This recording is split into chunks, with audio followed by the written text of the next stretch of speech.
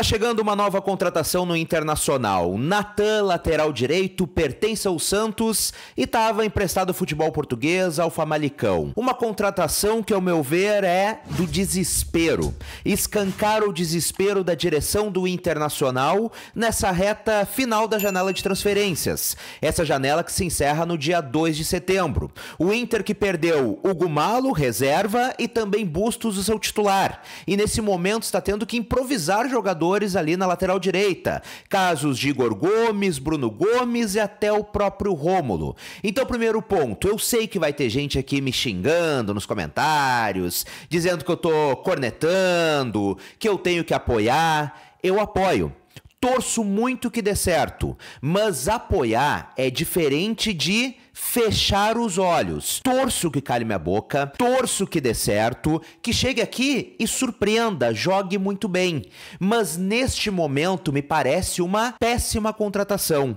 Uma contratação desesperada de uma direção que precisa dar resposta imediata para uma posição que, inacreditavelmente, neste momento não tem nenhum jogador realmente do setor. E por que, que eu digo que me parece uma contratação desesperada? Porque o Natan Natan não é melhor sequer do que os jogadores improvisados hoje na posição. Não é melhor, por exemplo, do que o Igor Gomes. Para tu ter uma ideia, o Natan foi emprestado pelo Santos ao Famalicão e não joga futebol há mais de três meses. Sua última partida foi no dia 17 de maio. Então, não está sequer em ritmo de jogo. Vai ter que chegar e vai ter que pegar ritmo. E nós já estamos quase no início do mês de setembro. Mas se o problema fosse esse, tudo bem, faz parte, a gente segue. Só que mais, nós estamos falando de um lateral que não serve para um time que está disputando a segunda divisão.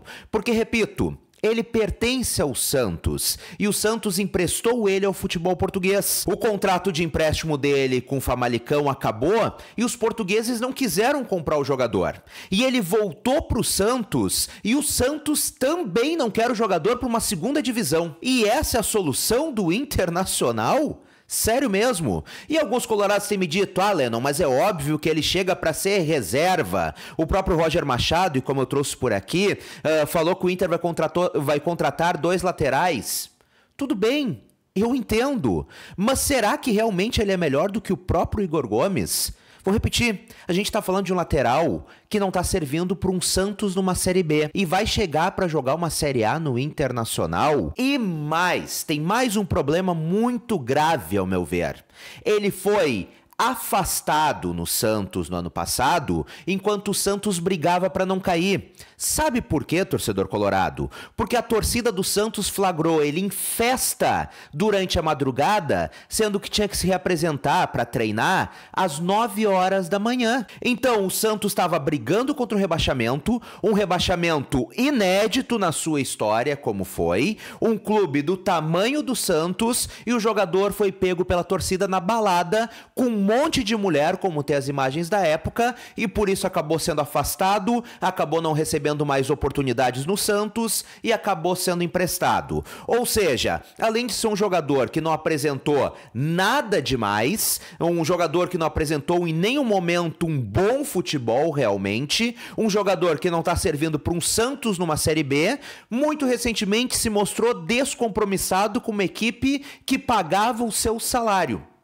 Então, realmente, essa é a resposta da direção do Internacional para uma posição em que perdeu dois jogadores muito importantes, Hugo Malo e Bustos? Repito, torço que cale minha boca.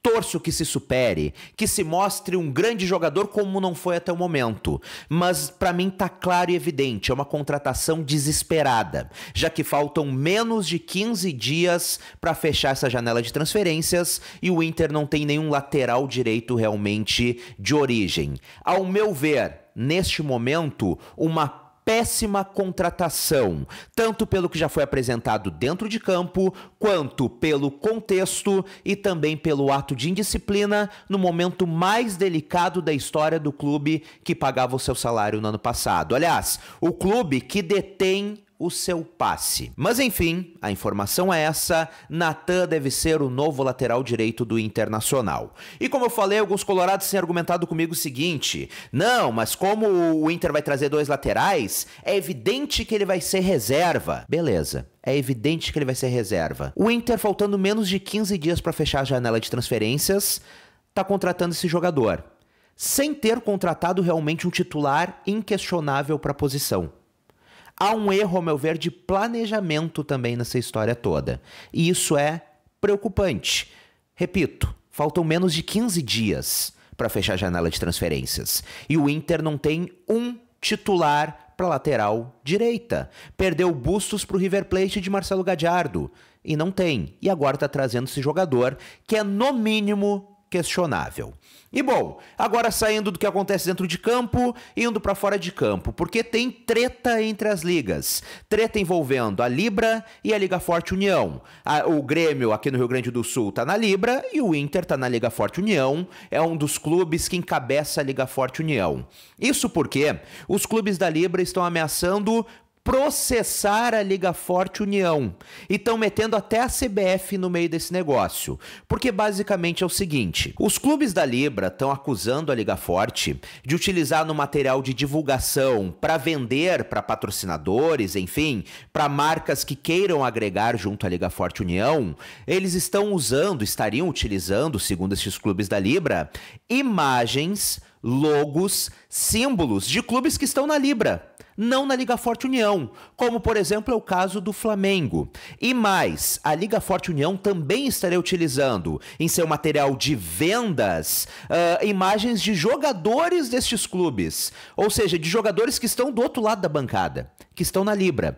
Então os clubes da Libra estão ameaçando processar a Liga Forte União por propaganda enganosa, por estarem supostamente utilizando imagens de jogadores e dos clubes que não pertencem àquele movimento. E mais, a Libra foi e pressionou a CBF para realmente questionar a legalidade dessa situação. E também pelo fato de a Liga Forte União supostamente estar utilizando em seus materiais de divulgação imagens também da CBF.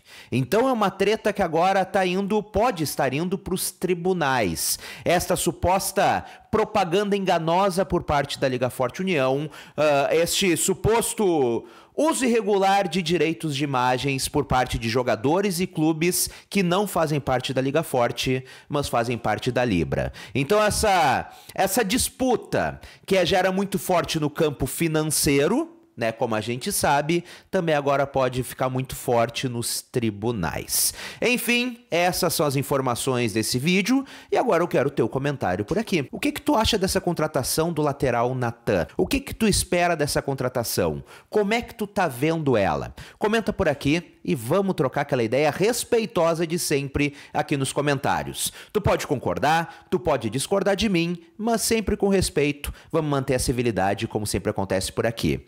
E se tu não conheceu o canal, gostou, quer estar sempre muito bem informado, clica aqui embaixo em inscrever-se e muito importante, ativa as notificações do sininho, porque assim tu não perde absolutamente nada.